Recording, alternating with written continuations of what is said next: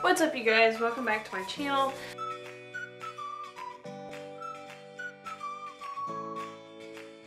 Um, I'm here with another random video because these are just how my videos go. They seem to be random and I don't expect to film one and then I'm just like, I'm gonna film a video. Let's do it.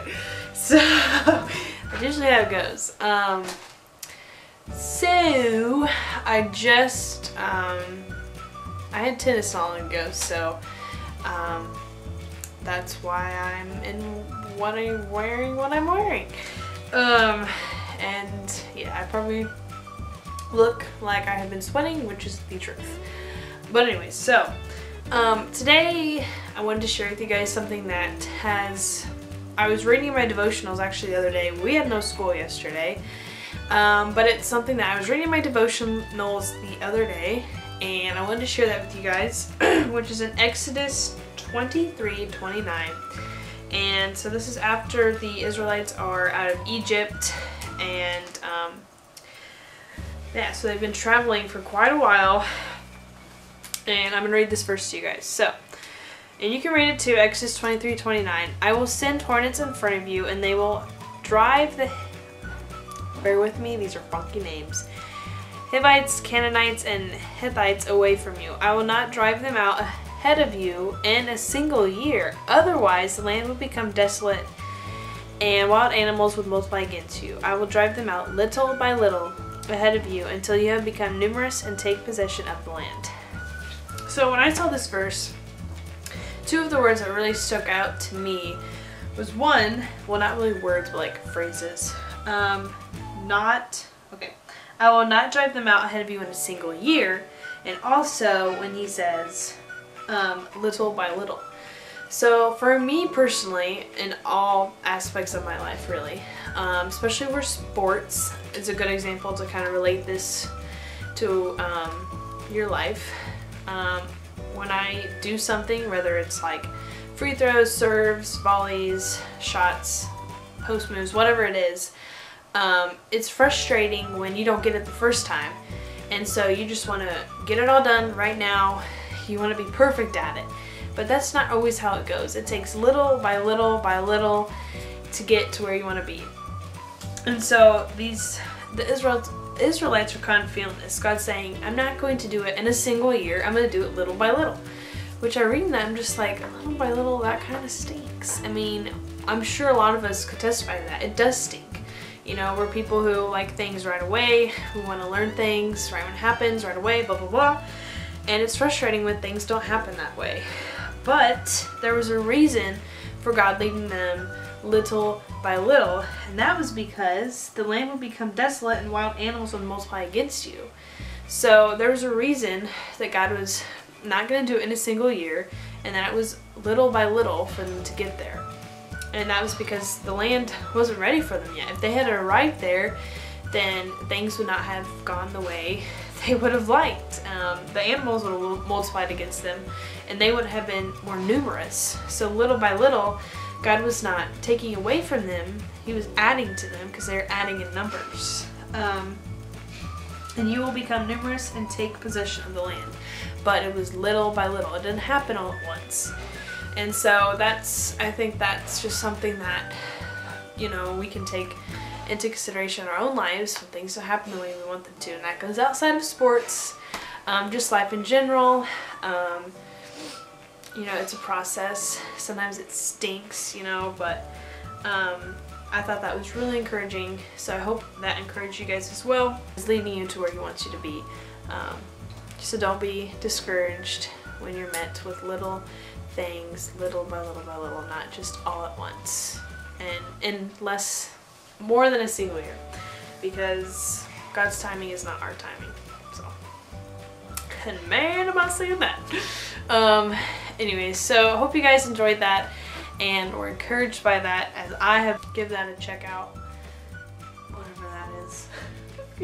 Go check it out. And um, so I thought I would add some vlog footage to this video because just random stuff, pretty much life lately um, here on the farm. Oh no, I'm just kidding. But just life lately, um, we've had a lot of delays, no school, time with friends, um, random clips. You guys will see that in, in the next few parts of this video.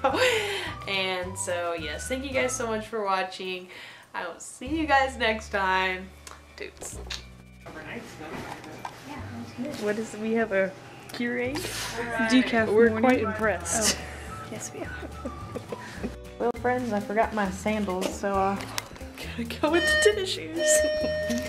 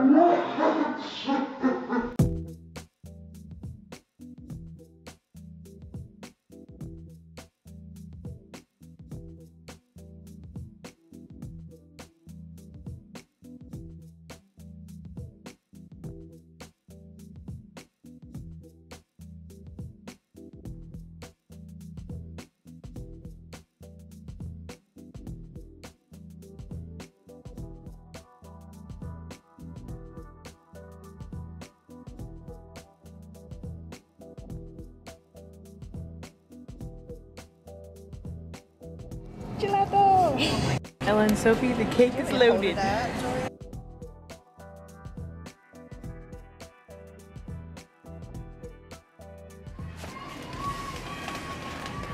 You're stupid.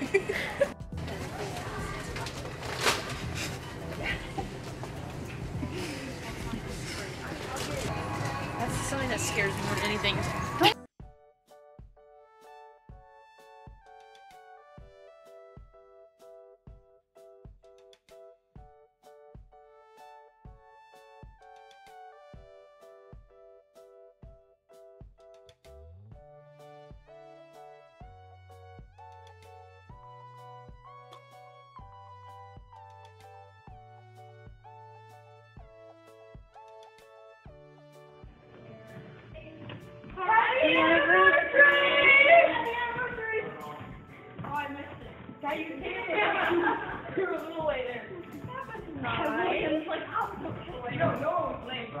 Okay, so I just wanted to clear something up. Those clips um, in our youth group, we all put our money together and we um, got our youth group leaders a cake because it was their anniversary and it was Sophie's idea, so shout out to you, Sophie. And so I wasn't able to be there when they gave them the cake, so I had Ella, Sophie, and Melon do a little bit of filming for me so you could see the reaction of them getting the cake because I wasn't there. So, and because you guys saw the cake in the other videos and you're probably like, what is this cake? So I just thought I would clear that up for you guys. So what's up you guys? Sitting here and I thought I'd share with you guys two of the things that really stuck out to me as I was doing my Devos this morning. So let me get my Bible. but anyways, so um, I was reading in Exodus today and um, what was it? Oh yeah, first we'll go with Nehemiah. So in Nehemiah 1, chapter 4, um, it's talking about how Nehemiah was just very upset. Um, I have it written down here in my notas. So it says, When I heard these words, I sat down and wept. I mourned for a number of days, fasting and praying before the God of heaven. So that was Nehemiah in chapter 1, verse 4. But then we also know Nehemiah as the one who in chapter 8 said, Do not grieve because the joy of the Lord is your strength. So it's kind of like Nehemiah went through this time of, I mean, he was really upset, he was mourning, he didn't really understand what was going on, but then he prayed to God, which is in the end of the first verse, and praying before the God of heaven. So it's kind of like he learned then that the joy of the Lord was his strength. And so in chapter 8, he was able to tell the people, um, do not grieve because the joy of the Lord is your strength. So it's kind of like Nehemiah learned that. So then when the, the people he was with started to mourn and get upset and confused, he was able to tell them, hey, do not grieve because the Lord is your strength. I thought that was pretty cool. And also, um, I was in Exodus today um, because um, some people in our youth group are doing like a study of the Bible and stuff. And um, one of the verses, I can't remember, I'll put on the screen, but it said, and Moses talked to God like he was a friend, something like that. And the more I read through Exodus, the more I could see how true that was because, like, Moses just was always talking to God. He was telling him, he asked God questions, he was telling them how he felt, he was telling God how he felt. You know, when the Israelites would um, start getting on Moses, then he would go talk to God about it. So he's always like talking to God in communication with him. And so that verse that says Moses talked to God like he talked to a friend was like so true because he really did. And so that kind of made me think about my own prayer life. You know, am I talking to God like I do a friend? Do I always go to him when things go wrong or just whatever the case is? Um, I honestly don't think I do. So that was something to think about today. But anyway, so that's what I wanted to share with you guys. Everything that you just said is my favorite thing to do every day. oh yes, nacho forever.